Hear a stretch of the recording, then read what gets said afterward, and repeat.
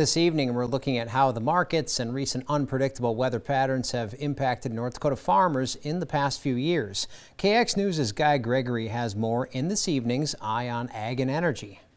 Eye on Ag and Energy is sponsored by North Star Ag. According to North Dakota Farmers Union President Mark Watne, an abundant supply of harvest has helped to push down commodity prices. Usually, when the markets are oversupplied with uh, some commodities are oversupplied with them all fairly well, and the markets tend to move somewhat together. Commodity prices are down across the board for most of the crops grown in the state, which include wheat, soybeans, corn, and sunflowers. Prices tend to remain low when the supply of crops is larger than the demand for them. However, prices are not the only factor farmers have to keep an eye on when planning for the next growing season. Since the weather has been quite unpredictable the past couple of years in North Dakota, especially with last year's drought, some farmers did well while others saw less than favorable harvests.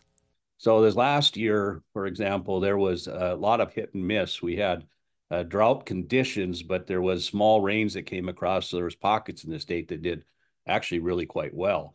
Uh, but we did have areas that stayed dry and their yields were down dramatically. And, and they were at that time frame, we started seeing these commodity prices backing off. So they got kind of a double whammy. After a mild winter with little snow, things have changed once again. As this spring, more wet weather has returned, and this has had a different impact on the planting season with soaked fields. Now, this spring, we opened up with hardly any snow.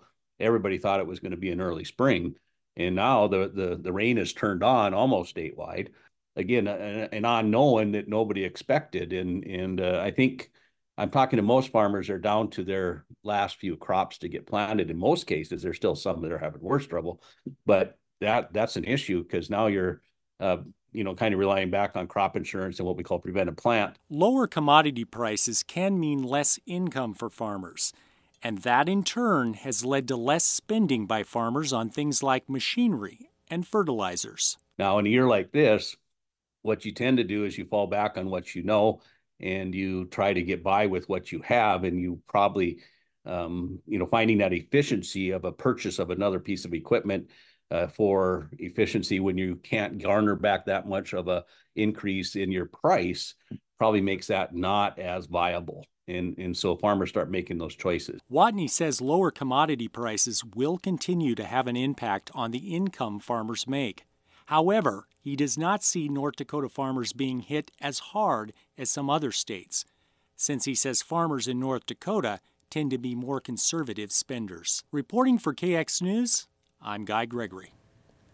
Watne adds that Congress is currently working on a new farm bill to help farmers, and he expects they should have that finalized for passage sometime later this year.